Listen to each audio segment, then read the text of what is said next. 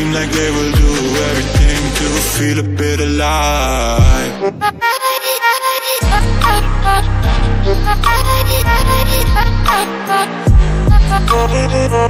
alive